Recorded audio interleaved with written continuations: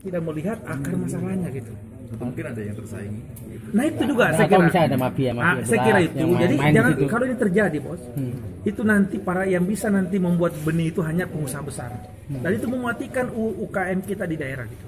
Petani-petani kita punya kemampuan membuat benih, tapi karena dia tidak punya sertifikat ditutup semuanya. Hmm. Itu bahaya, itu mematikan ekonomi kerakyatan kita gitu. Dan nanti bisa jadi nanti ada monopoli hanya perusahaan besar yang bisa mem, apa, apa benih ya, membuat benih dan bibit. Dan itu pasti akan merugikan daripada uh, para uh, apa namanya uh, kelompok-kelompok tani yang ada di bawah yang selama ini sudah mem- apa menjual ya, sudah menjual, membuat menjual benih-benih padi maupun jagung gitu. Jadi saya kira jalan-jalan solusinya adalah bagaimana Kementerian Pertanian ya kan mendampingi para penangkar-penangkar benih ini ya atau para pembuat benih ini untuk mereka mendapatkan sertifikat dengan gratis. Ya kan? Jadi dananya dari mana? Dari Kementerian Pertanian kita nanti alokasikan melalui APBN kita. gitu. Hmm.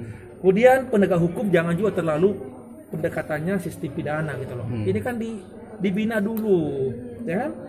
Yang ketiga tentunya jangan sampai ini ada mafia besar ingin mematikan semua pengusaha kecil ini dia masuk sebagai monopoli gitu. Ini yang bahaya sebenarnya terjadi seperti itu. Ini kan banyak petani kita mengatakan begini, kami hanya menjual sedikit ditangkap. Orang katanya impor dari luar beras 2 juta ton bebas ininya mafianya. Ini kan ketidakadilan yang terjadi gitu.